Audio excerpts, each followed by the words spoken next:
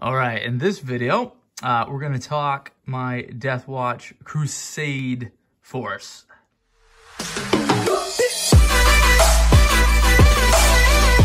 plan is to start playing some narrative play. And so this is approximately 47 power of Deathwatch so that I can spend three power to upgrade my kill teams and stay with the 50 power limit that you start narrative play with. Uh, disclaimer, I have no idea what I'm doing, so I don't know if any of these choices are good ones, um, but I am having a good time um, not knowing what I'm doing. All right, so they are in various uh, stages of completion from uh, built and not painted to, uh, you know, primed and some fairly few things started to painted but not based and then to painted and based. And um, someday I'll probably have it all finished, but right now I'm kind of tired of painting Space Marine, so I'm gonna take a break and uh, I'm just gonna probably play these guys as they are and paint some other stuff for a while. All right, so let's kind of walk through what's going on here. Uh, here are my characters, uh, both HQs. So I got Primaris Lieutenant in a Reiver armor. Uh, he is going to be my Warlord for um, most games, probably anything at uh, incursion size. I'll use him as a Warlord. If I play Combat Patrol, I might use him as a Warlord. But uh, I'm going to spend a requisition to give uh, him a Warlord trait he is going to get um, Paragon of their chapter, which is a Deathwatch trait that means he can get one of the chapter warlord traits out of the main Space Marine Codex. And um, he is a Nova Marine, so I will play nice with the rules um, and make him, give him Adept of the Codex from the Ultramarine chapter. Uh, whenever I spend a command point I roll a die, and on a 5 plus, uh, that command point is refunded, and I've had a lot of fun with that in, uh, in the games that I have played. Um, and so that is going to be that. I may spend a requisition point to give him the Purgatus pistol from the core book. Um, I don't know. I haven't quite decided yet. Um, we'll figure that out. All right, and then uh, Primaris loot, uh, Primaris Librarian. And he is going to pull his psychic powers from the Xenopurge discipline, and we will take Premorphic Resonance and Fortified with Contempt uh, to be buffing other guys, and then if he's by himself, uh, fortifying himself with Contempt. And um, I've had a lot of success with those uh, psychic powers. All right, so that is the HQs. All right, I'm gonna take, um, I decided instead of a second lieutenant, I'm gonna take a squad of Primaris Reivers in my elite slot. And uh, these guys, they all have um, combat knives and bolt pistols. And then the sergeant also has the um, uh, bolt carbine. Uh, he does have a bolt pistol and combat knife there in the back. Uh, they all also have grappling hooks and uh, grav fins, just because I wanted them to have most of the stuff. Um, I probably, depending on the game, I may uh, deep strike these guys. I don't know. And um, I may spend a requisition point to give him um, special issue ammunition. Um, but I haven't quite decided yet. I, there's a couple requisition points that I haven't decided what it is that I'm going to uh, do quite yet. Uh, but these guys are uh, coming in in my elite slot. And I decided on these guys instead of lieutenant because um, they got 10 wounds altogether, which is great. And um, since these guys are primaris, I can use the um, transhuman physiology stratagem so that they can only wo they wound rolls of one through three automatically fail. And it's just, it's great for like keeping um, dudes alive. And um, these guys can also use shock grenades, which I've had some success before. So we're gonna be doing that. Okay, so for troops, I have um, two Proteus kill teams. Uh, and then I got a bunch of leftover dudes for, as a pool to pull from because there is a, a death watch uh, for one requisition point. I can re-equip everybody. So um, a lot of them are magnetized, not all of them, but a lot of them are magnetized so I can switch the weapons around and also switch out the optional models. And so I have some extra optional models uh, back here. So the individual kill teams. So these guys, uh, I got my sergeant and uh, he has a uh, Xenophage blade a combat shield, and then right now I have him with a storm bolter, but again, it's magnetized. And I am gonna spend a requisition point to uh, give him special, ammu uh, special issue ammunition on this storm bolter, okay? And then for the, the four veterans that have to be in there, uh, I have a guy with a missile launcher, I have the uh, heavy infernus bolter, I have a frag cannon, and I have a uh, heavy bolter. So this is my uh, kind of long range shooty guys. I'm actually gonna combat squad this one. So these guys are gonna be together and they're gonna be shooty.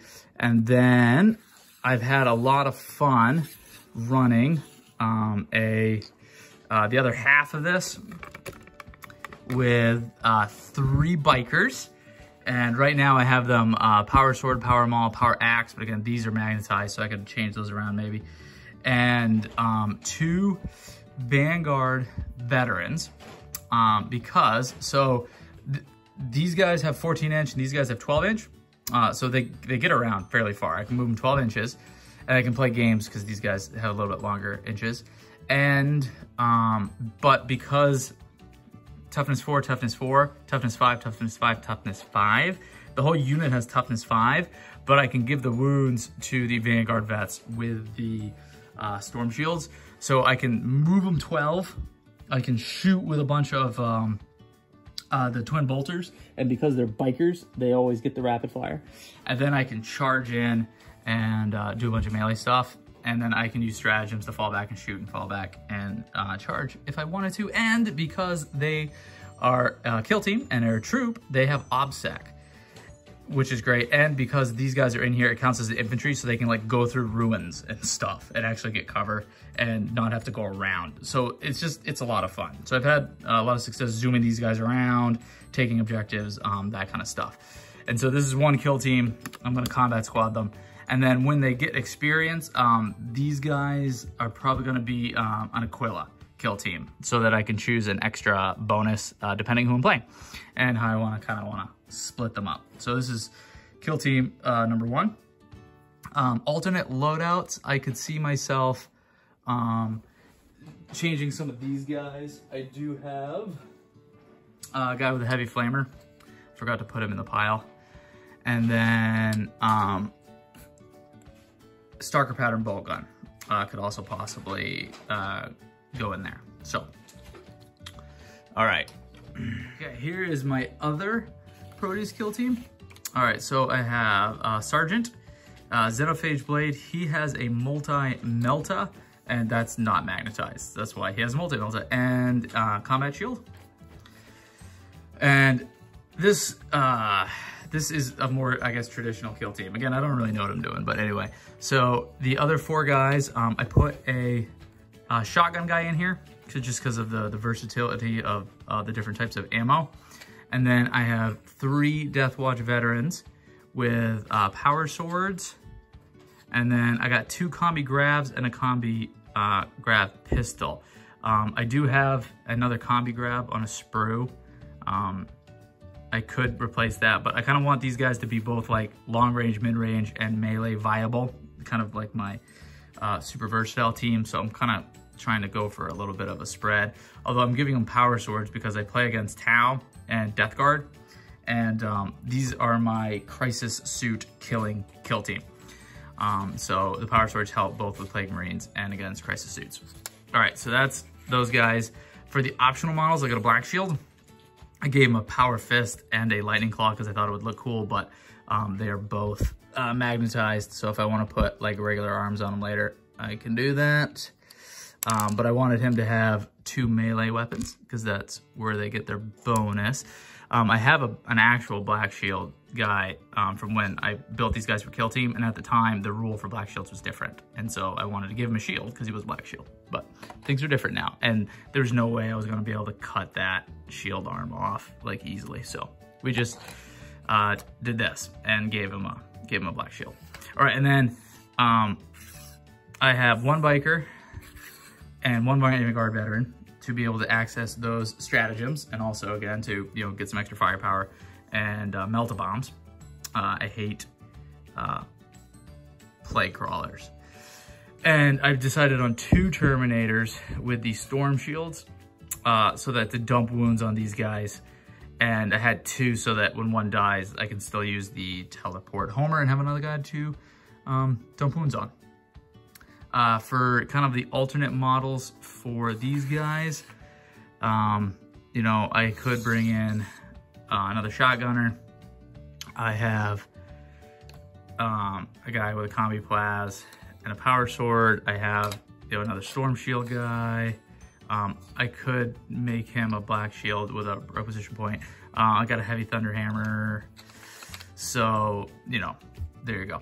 Uh, the only other optional guy I, I, do, I have, I had a box of Vanguard veterans, so I got some more of those guys.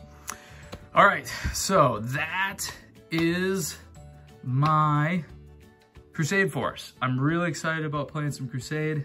Um, it looks really fun. Uh, after I play some games, I'll come back and talk about it and tell you if it actually was really fun. And I think I'm probably done with um, Deathwatch for a while. Um, I really enjoyed the whole process. I like them, but there's just a lot of aspects about collecting them that uh, stresses me out, like uh, buying upgrade sprues and um, either trying to find single models on eBay or, you know, buying a box and all using like one or two or three models. That kind of stinks. Um, you know, wanting to have cool chapter pads um, that, you know, can be a little stressful. So I think I'm just gonna play Crusade with these guys for a while and then start a new army sometime. All right, uh, I hope that that was enjoyable and um, I'll let you know how the Crusade it goes um, once we get into it a little bit. All right, have a good one.